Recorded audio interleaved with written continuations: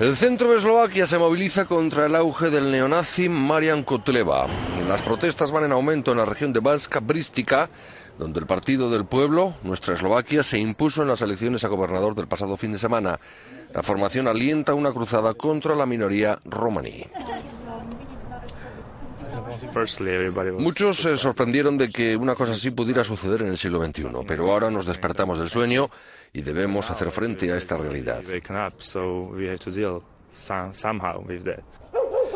La región de Banska Brística tiene una alta concentración de población gitana que representa el 9% de los 5 millones y medio de habitantes de Eslovaquia.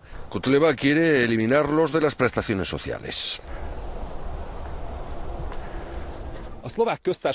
Eslovaquia es una república independiente desde hace 20 años, pero sus sucesivos gobiernos no han sido capaces de encontrar soluciones a las dificultades de la minoría romaní. Por eso muchos interpretan la victoria de Koteleva como una derrota de toda la clase política.